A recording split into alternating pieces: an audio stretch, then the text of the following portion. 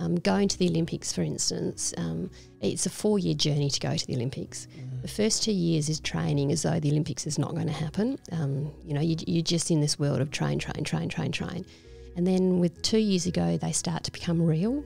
And then one year to go, you're under so much pressure for selection um, to get into the team. And then, well, just before that, you're actually under pressure to get Australia to qualify for the Olympics, for instance, or Yeah. the country that you represent to qualify. And then you've got to get yourself into that team. And then you've got to go, and then, oh, wow, you're just on the start line for performing. You've got to.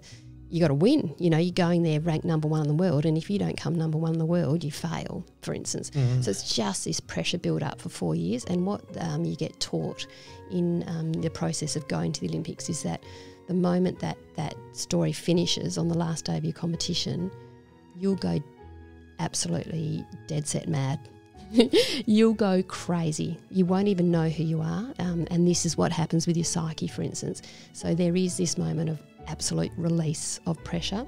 And beware, that's when you're all going to get in trouble. And that, that's when they come down the You heavies. can understand that. It's basically padded walls. You can understand that. oh, yeah. Because you think after four years, you know, and then, I mean, if Australia is known for one thing in the Olympics, especially with women, it's hockey. Mm. Really? I mean, what else?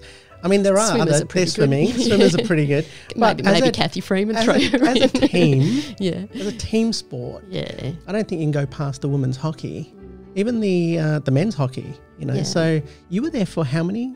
How many? I years? went to two Olympics Wow. and two World Cups, but um, the women's hockey team through that reign is considered the best sporting team in the world. Now that's a very big statement. So It that's is. how successful it was, not just at the Olympics, but at the big tournaments all the way through at the same time. It must have been nice to be part of that. Yeah, yeah. Mm. Well, you know that journey sort of went on for you know 20 years. Um, so we're sort of all slide between between that. But yes, we were definitely part of it. And our West Australian team also made history, the most national wins anywhere in the world as well.